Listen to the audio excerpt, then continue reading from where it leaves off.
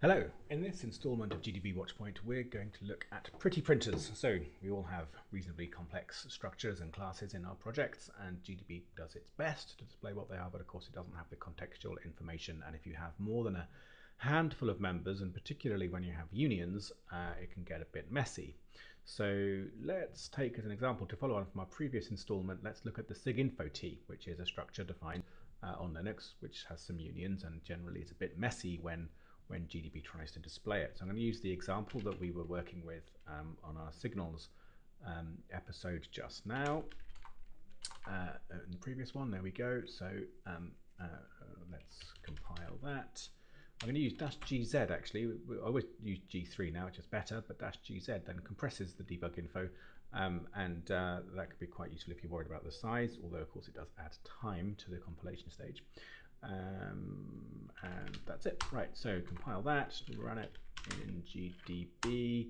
Um, so start, and I'm going to just next through to point where we uh, there, Control C to send the signal. So um, now, if I look at my info structure, actually it's the same, of course, as doing should be the same as that, um, and it's isn't. Ah, yes, of course, it isn't because, silly me, as explained last time, GDB did not see that SIGINT because it was in SIG wait info. Anyway, so let's have a look. So again, print info, so it's a structure, bunch of members, bunch of unions, all a bit messy. So I'm going to make a pretty printer for it. Uh, so um, we're going to do this just by um, a small amount of, uh, we're going to just write some Python for this. So um, I'm going to call this uh, prettyprint.py, right?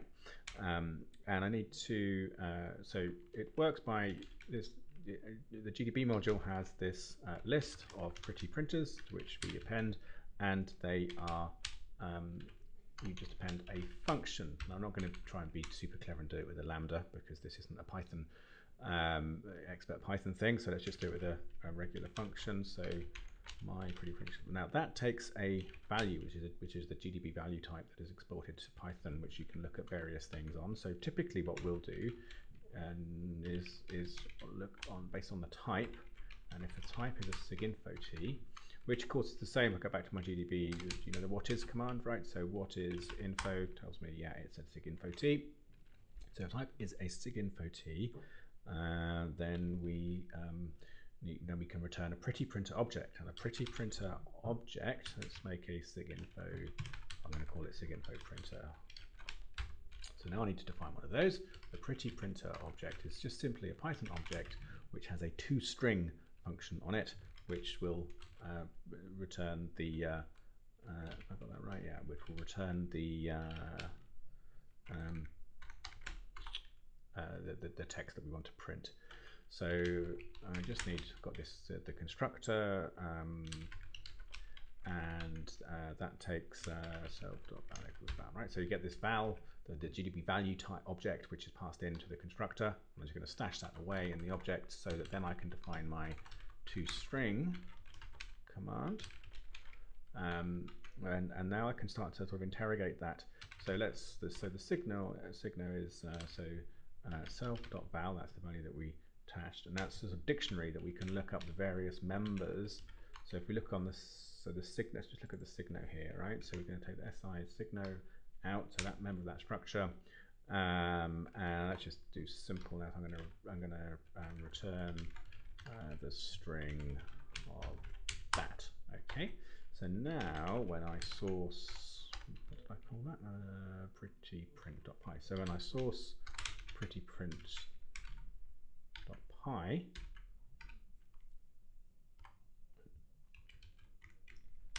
type. Now when I print info, hey, all right, so that's perhaps a little bit easier to read, although perhaps I've gone too far. Um, I actually have here, um, let's have a look. I, have got a, a file, uh, I've already, this is quite useful, signames, which you can just translate a signal number to a textual name. So I can use that. So perhaps I'll go return as a sig uh, name equals um, uh, so we go sig names sig no. Okay. Um, let's uh, let's see how that goes. So I need going to source my sig names as well. So we've got that, and now resource uh, pretty print and print info. And oh it doesn't like the value. Oh yes because it's an object. So it's an object not a uh, so why don't I make that int like that? Cool. Uh, so I need to say um, something like um, plus sig name source that and print that. Cool, okay, that's starting to look a little bit better. Um, now I want to start to look at the, um, the, the, code. So I talked about the more information that you can get out. Um, so what about if somebody's, often it's useful if somebody's um, sent, delivered a signal to know who delivered that signal, right? What, what process did. So let's, um, I can do that by something like, so the sender is the self dot val. So I can look up this uh, uh, uh, SI fields, which is the thing we were looking at before, and that itself is a union. So now I can start to look at uh, uh, the kill member of that union, and um, I can look at the SI PID. So that is the stats can look up the sender of uh, that signal. Um, uh, but it only uh, only if the code is zero, which is the, which is the code for si kill. So um, so if uh, int um, so if my code so that what I'm doing like this, I'm going to go code equals uh, int self val si code. So we're going to extract the code from it and um, and now I'm going to say um, what about uh, code equals plus string code like that um, but what I want say is if code equals zero which is the code to say it's a kill so it's coming from somewhere else um, now I'm going to actually say something a bit different I want to say return I'm going to use um, formatting here, so I'm going to print the, uh, the signal number and name like I did before. No, hang on, let's do it. Let's, let's so I do the same, but I'm also going to print the sender. Um, I'm going to go sender equals, and uh, that is uh, this uh, sender object. So, so think that will do what I want, right? So code zero, we're going to tell us the sender was, otherwise it'll just tell us what the code was. So source pretty, pretty print.py, and now if I print info, probably do this, okay, so code 128, so that's not, that's because I did a control C, right, which sent from the kernel. But let's, um, let's, let's start the program again.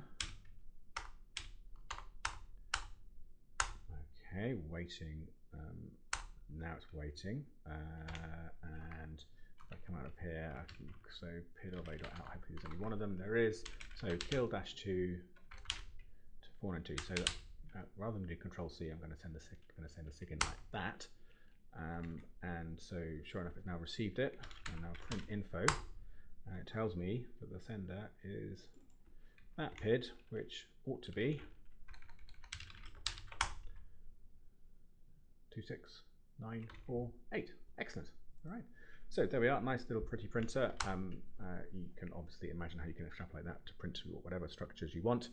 Um, and and um, uh, can make your, um, just really, I, I, find it can really improve the flow state of your debugging and, um, uh, you know, a little bit of investment of time up front and you can be then much more productive. Right, that's it. Thank you for listening. Do um, do follow us uh, and, and to get these updates hot off the press as they come out. Um, and look forward to continuing next time. Bye bye.